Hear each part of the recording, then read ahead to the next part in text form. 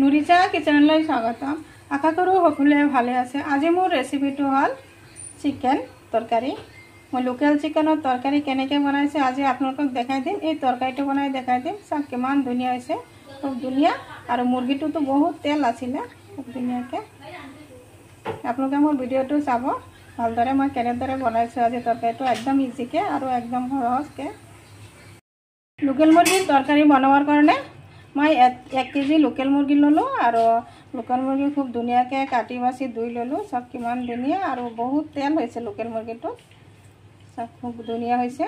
আৰু এইফালে ল'লোঁ দুটা ডাঙৰ চাই পিঁয়াজ কাটি ল'লোঁ আৰু তিনিটা নহৰু এনেদৰে টুকুৰাকৈ কাটি ল'লোঁ।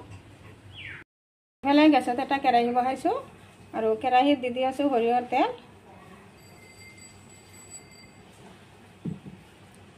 তেল গৰম হৈ গ'ল দি দিলোঁ এটা তেজপাত। আৰু দুটা দালচেনি টুকুৰা আৰু দুটা এলাচ। আৰু দি দি আছে এতিয়া পিঁয়াজ নহৰুখিনি গোটেইখিনি টুকুৰাকৈ ভালদৰে ভাজি ল'ম এইখিনি আৰু এটা হাতত অলপ লৰাই দিলোঁ। পিঁয়াজ নহৰুখিনি ভাজি ল'লোঁ। আৰু এতিয়া দি দিলোঁ এক টুকুৰা আদা।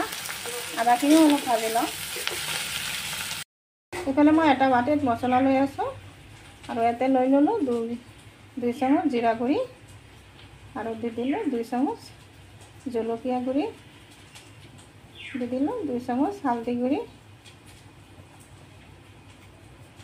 আৰু ইয়াতে দি দিলোঁ অলপ পানী।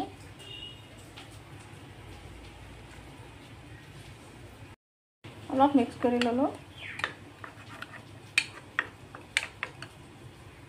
এতিয়া মছলাখিনি পিঁয়াজ নহৰু ঢালি দিলোঁ। ধুনীয়াকৈ ভালদৰে অলপ চলপ ভাজি ল'ম। ইয়াতে দি দিলোঁ বাতিটো ধুই অলপ পানী দি দিলোঁ। ইয়াতে দি দিলোঁ, এক চামুচ সোৱাদ অনুসৰি নিমখ। নিমখটো ভালদৰে মিক্স কৰি ল'লোঁ।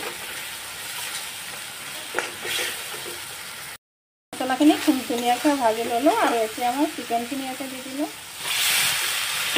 দি দিলোঁ গোটেইখিনি চিকেন চিকেনখিনি মছলাৰ লগত ভালদৰে অলপ টাইম ভাজি লওঁ। মাংসখিনি ভালদৰে এনেদৰে ভাজি ল'লোঁ। তাত কিমান ধুনীয়া কালাৰ এটা হৈছে খুব ধুনীয়া হৈছে মাংসখিনি খুব ধুনীয়াকৈ ভাজি ল'লোঁ। এতিয়া মই দি দিম ইয়াতে অলপ পানী।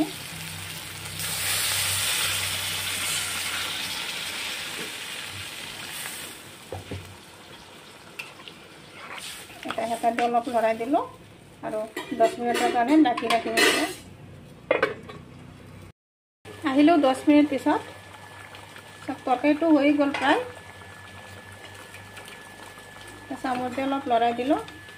চব কিমান ধুনীয়া হৈছে। এতিয়া মই নমাই দিম। নিশ্চয় মোৰ ৰেচিপিটো ভাল লাগিছে। যদি ভাল লাগে লাইক শ্বেয়াৰ কমেণ্ট কৰিব। প্লিজ এটা ছাবস্ক্ৰাইব কৰি কাষত থকা বেলাইকনটো প্ৰেছ কৰি দিব।